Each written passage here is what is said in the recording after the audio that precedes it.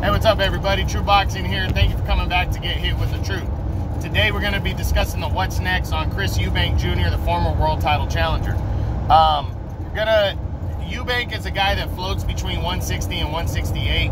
Most recently, one 160, where he. I'm not sure if he's still considered to be the interim champion there, but he fought Mark Moore, uh, not Mark Morrison, Marcus Morrison in his. Uh, on May 1st on the zone and got a one-sided decision win there. He hadn't fought in um, close to a year and a half since a second round TKO where he really didn't get even started um, when he beat Matt Korobov and Korobov had to pull out with a shoulder injury, um, you know, in the, early in the second round. So Eubank now, following that, you know, he's an avoided guy.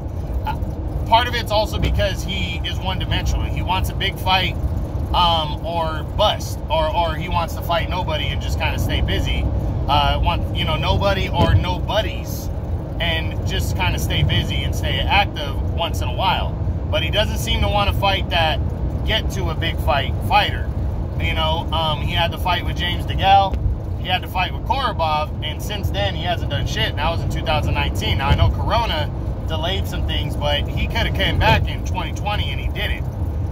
Waited until May 1st of this year. So he's with Team Sauerland now. So pretty much that means he can he can make any kind of fight. Um, so let's run him through the one, uh, uh, middleweight and super middleweight and see what's possibly next for a former world title challenger, Eubank. So we start with the middleweight division where he's still technically currently ranked. We start with, and we look at the top 10. We start with number one, Jermall Charlo. Charlo ran scared from Eubank. This was a fight that was possible last year. I didn't blame Charlo for taking on Derevyanchenko instead. I felt like he was a little bit uh, higher up than Eubank. But why didn't Charlo want to fight Eubank after the win over Derevyanchenko? Because he's running scared. He fought Montiel, or he's fighting Montiel next, I think. And that dude's a nothing. He should be fighting a guy like Eubank. He obviously doesn't want to fight Eubank. This fight, in my opinion, not possible. Number, well, Charlo was number two. Number one is Triple G.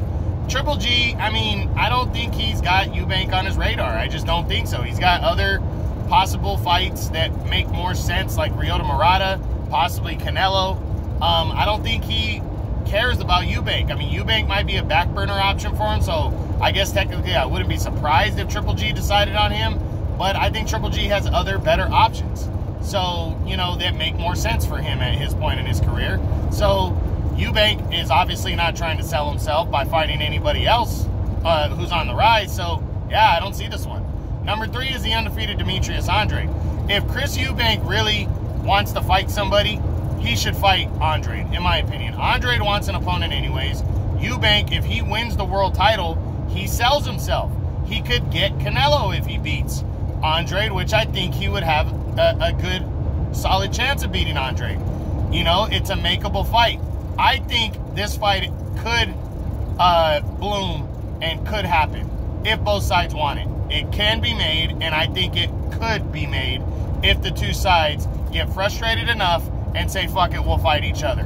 This fight is miles. possible. Use the second from the right lane to Number take four exit 97 for California Is the newly crowned WBA regular champion, Erislandy Lara. Now, the WBA could order this fight if Eubank is still technically considered the interim champ.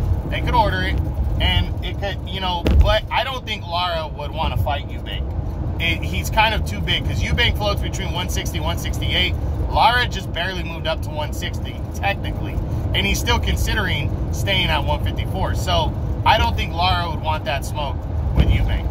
Number five is Sergey Derevyanchenko. I would love to see this fight. I think Eubank might be down for it if he can't get anything else, but I'm not sure Derevyanchenko would want it, but I say why not for Derevyanchenko? Maybe not his return bout after getting kind of beat up by Jermall Charlo, but I do like the fight. Um, number six is Ryota Murata, the WBA Super Champion. I mean, I could see Murata possibly being interested, excuse me, if these two sides don't have anything else to do. Like Murata is in preliminary plans for a unification bout with um, Triple G late in the year. a mile. Use the second But from the if right Triple G were to get the 97 Canelo fight, California 198 that might present present itself. This fight might present itself. Eubank and Murata. I'm leaning towards the no because I'm not sure Top Rank wants Murata to get in a ring with a guy like Eubank, but I'm not going to rule it out completely either. It could happen. Um, Second from the right lane to take exit 97, then keep left at the fork. number number seven. Well, he was actually Eubank's Keep number seven technically. Number eight is the undefeated Jaime Munguia. Munguia's fighting in April. Um, I mean, fighting in June. I don't see this one. I would love to see the fight. I think it's a great matchup, but I don't see it happening. Um, just because I just don't see the two sides coming together to make the fight. I'm not sure Munguia would be interested in fighting Eubank. I, I'm gonna lean towards a no, so I'm not seeing this one. Number number nine is Rob Brandt. Rob Brandt's in a lot of um, uh, contra- contractual disputes right now. Plus, I'm not sure he has a style that Eubank would be interested in, so I might lean towards a no. Number 10 is Englishman Liam Williams. This one's possible. If Eubank really wants to stay here, they possibly could get some kind of an eliminator going here. And I could see uh, Eubank and Williams because it's a domestic rivalry. You know, it's a it's a it's a all British showdown. They're both contenders, and they both would work with the zone real easy. So it's a definite fight that could be made. And that this one's possible. Okay, that's the 160. 168 real quick. Canelo at number one. He's been calling Canelo out. Canelo's not going to fight him. Who has Eubank beat? He hasn't beaten anybody except for James DeGale, and that was in February of 2019.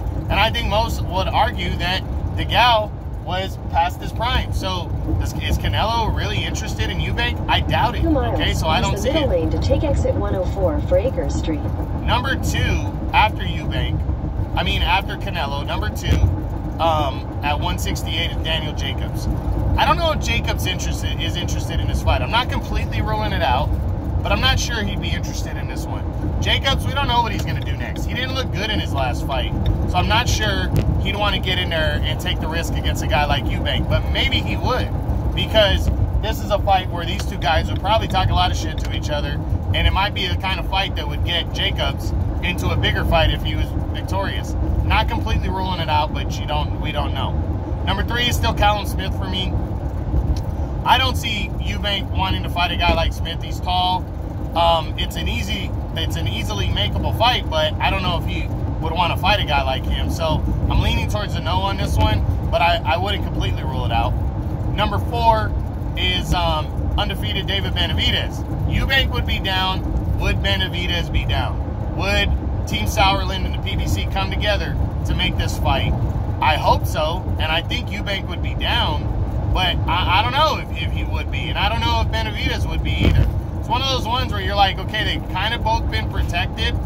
Do they wanna the fight each other? Take exit 104 If they did, the winner could put themselves in position for Canelo. It's another one of those fights that Eubank might want to look into and take a risk on so he could get that big Canelo fight that he wants. Number um, number five is the undefeated 104. Caleb Plant. Well, Caleb Plant, the IBF champion, is fighting almost, for sure going to fight Canelo next in September. They're working on the fight. It's almost for sure going to happen. 1,000 feet. Turn So left onto South Eubank Acres and Street. Plant is not going to happen. Plain and simple.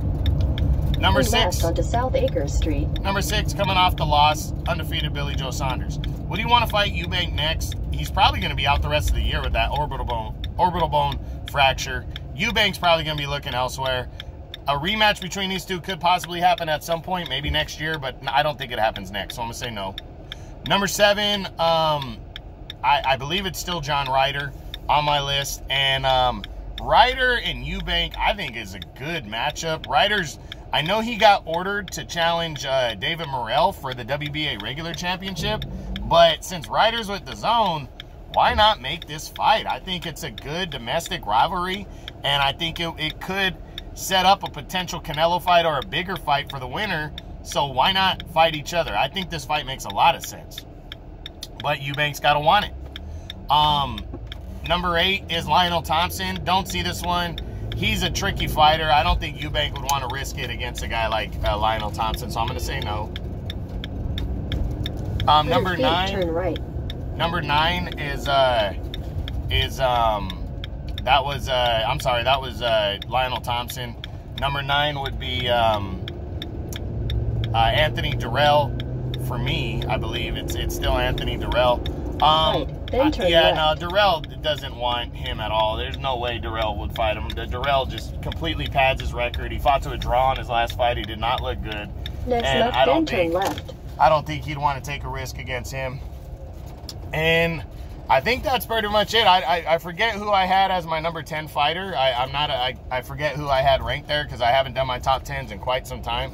But yeah, there's some fights that make sense. A lot of fights that I think make sense for Eubank if he wants to make them. You know, Eubank has to want to make on the right. some of these fights. You know, he cannot he cannot um, sit here and continue to just fight whoever just to uh, pad his record and hope that one of these big names fight him. You know, he he just can't do that. So he's gonna have to take a risk. He's gonna have to fight in some kind of eliminator. He's gonna have to fight somebody better. Um, you know, and he might have to take a risk against guys like Demetrius Andrade. He might have to fight guys like um, David Benavidez or or or something like that before he could get to that next level name like a Triple G and Canelo. So I think Eubank needs to take some risk, and um, and I think you know he, he, there's a lot of makeable fights for him. So hopefully he he gets them. Um, I like Chris Eubank, and I'd like to see him in the ring. He can sell a fight, but he needs to beat that kind of B level name recognition fighter to get to the A level name recognition fighter, especially if he wants Canelo or Triple G. So that's it, guys. That's what's next on Chris Eubank Jr. Hope you enjoyed it. TRU Boxing, you've been hit with the truth.